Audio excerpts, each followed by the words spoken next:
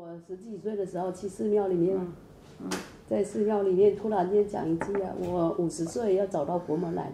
哦，哎呦，真的五十岁，你看，嗯，等你个家庭要破裂了，嗯，然后那个老公，你看二三十年结婚，二三十年也背叛我了，哦，他背嗯，叛你，这很奇怪，我觉得很奇怪啊，就这个立言也很深，也真的嗯，因为我们已经结婚三十年了，哦，啊，那这个真的很很很难受了哦，，很长了，嗯太长了，啊 太长了，那个以后以前没有遇遇到国外也是很痛苦的，嗯，然后还有个什么钱又给人家骗了，你看，嗯，又有这个立言了，嗯，今是年你的你要是有人骗你钱，你一定要，就是说你钱一定要流动的，呃，对你来说，钱真的有时候是个祸害。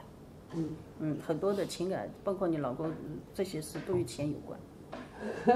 我说哎呦，怎么搞的这个这个立言这么的？现在我看了也经常在看佛经，现在就不烦恼，但是释然他吧。哎，现在我就也奇怪，也也是心里面牢牢记住他，有时候想呀，哎呀，没有我了还想他干嘛？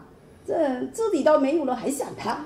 没有我，自己那对自己这样你成小的，便，你还没挣得嘛？啊，肯定想嘛啊。呃这些事看上去对人道来说好像都是伤害，比如被骗了点钱，老公好像也三十年的感夫妻感情竟然一下子不、不要了，这个感情就是说很多东西看上去在这个世界都是不顺利的，嗯，呃，而且你又说哎心姐得病了，哎，或者是说这好像都不顺，但是其实我觉得都是他走到一定程度，就是说，呃，我不能说他是应该的，但其实对你，如果你说找到没有这些，你也可能就进不了佛门，你不会很很深的去、去领悟去学佛的东西啊。他这里这里修行好像又没有什么进步，有时候想的很难受这样子。是啊，是啊，啊，就是说，老师，我就是经常看你家里面真的空气空气那个，就是有时候想静一下，哎呀，这个可能我们心也比较浮躁，有时候坐不住。嗯你就从刚才我说的那些事里边修，那些事是救你命的，那些事的发生，如果你不你你你的身体，那今天只能说这样的，有些事的发生是救你命的，那还是你的福报啊！你要你要想活好好的活在这个世界上，继续学佛法，那些事的发生是帮到你了，嗯，你你认为是坏事，真的，我这个伤很很痛啊，老师，这真的我们那时候我那个伤特别痛。啊，那比死好啊，啊是啊，是啊，我早上就求你那个微信看到老师说那个这个伤害最深的最好哦。那也比你跟你老公两个都离世好啊。啊，这呃就讲起来就分开就分开呗。哎，他那个他也你也希望他好好活着是吗？嗯。你也希望你有孩子吗？有两个啊啊，有女孩子两个孩子，最起码孩子的父母都在，不管你们分开还是在一起，呃，孩对孩子来说都是爸爸妈妈还亲人还在啊。我觉得对你跟你老公来说，呃就是如果出现这些事，有人骗财啊，有人就是说分离情感分离的话，真的是你们俩的福报。你得到东西已经很多了，在这个世界。嗯对，好像老师说那就是，呃，就是打坐，我就是怕打不住，这里痛了，老师你就不用打坐哦，不用打坐，哎，就坐着着就念佛，哎，一心不乱的念佛，嗯心不乱哎啊嗯，你跪着也行，坐着也行，不断变换姿势都可以，嗯，啊，念佛号啊，嗯，很容易修行，很容易成道，而且快乐的成道。就说修行不要那么痛苦，不然说修行找不第一是找不到老师名师，第二找到了还不知道这老师是否成道了，因为怀疑嘛，不知道他他能否带自己解脱。还有呢，修的也蛮苦的啊，因为红尘里边的也苦，修行也苦。你看出家人也有时候很苦啊，所以，所以他就发愿建立这样一个世界，然后让很多人在里边修行成道。那我们也一样，你念阿弥陀佛就要学习阿弥陀佛的品质，你才跟他相应嘛。嗯，哎，他的阅历也是你的阅历嘛，你不然你每天念他那个名字，你一点不了解他是吧？那你向他学习，为什么他能做到的，我们也能做到？比如说你有很多房子，你现在一个人空的，那你那你也可以说，哎，我我想建，虽然阿弥陀佛人家建立一个世界，那我建立一个佛堂，这个总是可以的，能够利益发心啊。哎，利益很多人去帮助，哎，很多就算是跟你有缘的众生吧，甚至不是说我利益三界六道，那利益你的，你所爱的，爱你的。他怎么楼上那那楼下又是租给别人？哦，租出租也行啊。哦，你租给别人就可以了，租出去吧。好，我说你要是说一个人住着空着，也可以做佛堂呃。那楼下的没租去，老下就方便。哦哦哦。这个随缘啊，这个嗯嗯。对对。然后我就一直哎呀，他们说哎呀，说个两三年就会成就，我怎么五六年呢？哎呀，还这样。没有一点进步？与与时间无关。其实有时候不是说修了很多年，是因为我们的心在做什么，我们的心放在哪个地方。如果我们的心只是放在痛苦上，放在烦恼上，纠结在那些，我们也不能说是我们修行了，是吧？你的心一直在修道上，这个世界的痛苦烦恼跟你没关系，你不管它。虽然那些痛苦烦恼。都是你的，都不能说是别人的。说啊，我你刚才说的那些事啊，都是你觉得在人生命里边已经是大事了啊。说钱财被骗啊，或者自己得病啊，家人家家庭感情受，这些都是一个女人一个就觉得已经是。但是一个修行者，比如说你把自己放在一个修行念佛念佛一个学学佛的这个这个状态上的吧，那念佛是第一位的，其他的都都就是淡淡的。就算这些事都能把它要看成鸡毛蒜皮的小事，这才是佛子心，这叫菩萨心啊！就算是念佛也叫菩萨心啊！就是念佛，我我念佛，我要求证佛法，那剩下的都是鸡毛蒜皮的小事，不让他打扰你。甚至身体的病痛，那我就是这个机器，可能在这个世界上肯定会病的，连佛陀都有时候得病啊，是吧？佛陀死死临临死的时候都视线病痛啊。那么既然佛陀都有时候病啊，那病看来这个是个人力普遍具有的现象，都会病。那他病着，那影响我什么了？除非他极端到痛到我没办法念佛了。如果他，他只是有个病，但目前还不是说很障碍我念佛，我就念佛呗。他又不影响念佛，只是有个病在那儿。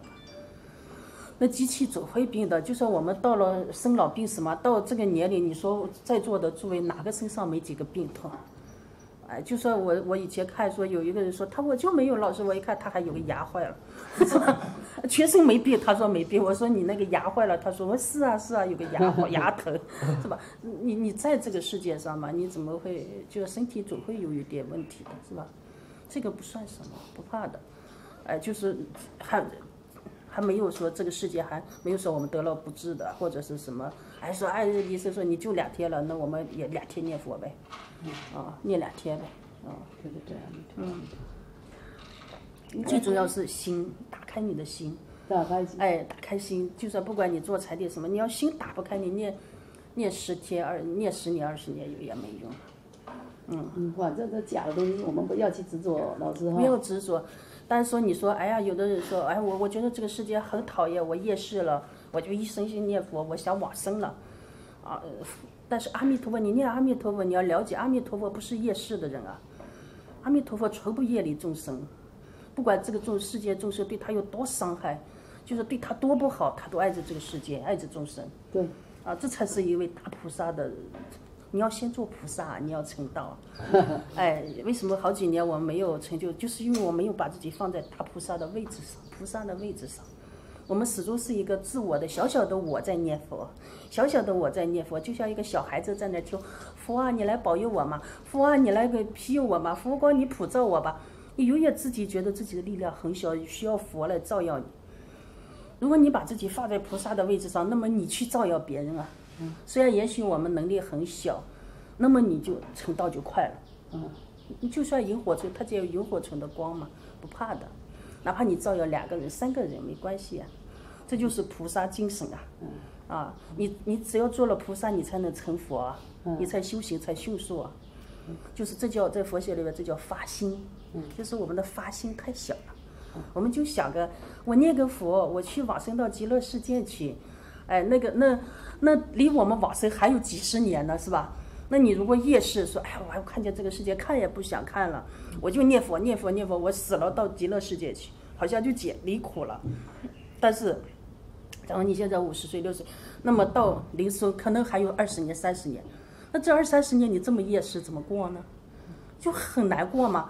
那纯粹别边念佛还别苦着，那你每天念佛就是阿弥陀佛阿弥陀佛在求阿弥陀佛快接我快救我吧，我好苦啊。所以很多人念佛号，你看就就苦苦的念的。还觉得阿弥陀佛，阿弥 就是就就是就苦不堪言，就是佛啊，我们在苦海里泡着，你来吧。是吧？我们念佛不能念成那样，这个也行。说我们真的苦啊，佛说这个世界是苦海，但是我们念了十年还是那么苦，那这个念佛就没得力，是吧？这个念佛，这个阿弥陀好像一直没来，你怎么还那么苦呢？是不是？你一直其实是问题是一直你把自己看成那个很小的我，很需要别人关心的我。我们都念了十年，我们都长大了，但我们从来没了解阿弥陀佛是什么样子的。如果我们把自己放在菩萨的位置上，就像我刚才说，去利益别人、发心别利益别人，像阿弥陀佛一样，去发愿，我也建立一个极乐世界，然后救苦救难，帮助很多人的话，我们早就从那个苦海里蹦出来了。十年以后，你念佛念的红光，坐在那儿是，可以福音众生了，知道吧？可以帮助很多人，可以利益很多人，那是如来的 利益很多人，帮助很多人。这个不是说有没有能力的问题，这种心是如来的心啊。这是大菩萨的心啊，大菩萨他就这一件事啊，就说你的心跟他相应了，哎，这叫心心相应啊。因为菩萨，比如说文殊啊、观音啊、呃地藏啊、普贤，他们的心就是这样的。你跟他们的心想，他没有别的事做，他就做这一件事，帮助很多人。虽然也许你的力量很小，你说我让人家来我这儿念佛，他也不来呀，是吧？他不来是他不来，你不发心是你不发心嘛？啊，你就没发出那个心，他怎么会来呢？就算你发心了，大家说都不来，不来就不来，但是你也不代表你不是菩萨，是吧？那三界六道众生，那佛说我们利益三界六道众生，那其他道我们也看不见，那怎么利益呢？是吧？那地狱畜生我们畜生能看见，地狱啊恶鬼我们看不见，那也帮不到什么，是吧？但是那个心要一样，就是我们向菩萨学习嘛，我们念阿弥陀佛，除了往生也要阿弥陀佛学习嘛。这样你就迅速的得到他的加持，你就离他最近。你要是很苦，那就离他很远。他在极乐世界，你在苦海，那个距离太远了，知道吧？你要你要发心说，南无阿弥陀佛，我就是菩萨，就是我也要像你一样，怎么怎么？那你跟极乐世界很近啊。你跟阿弥陀佛近，就是跟极乐世界近了。哎，就你跟他相应，不断的相应，不断的相应。走的时候还不用你接了，我自己去了，是吧？你你保证的，因为我我跟你相应啊，我知道你的星光在哪里，他在我心里啊，跟你是相应的，直接就过去。就是说白天有念佛，白白天念佛哦，晚上晚上啊，他那个照样这个心啊，这个很奇怪，倒是想别的东西。啊，乱想，嗯，有时候与身体，有时候与身体也有关，嗯，你有时候身体不好或者有病，就晚上就会杂念多，睡不好啊，梦梦啊等等。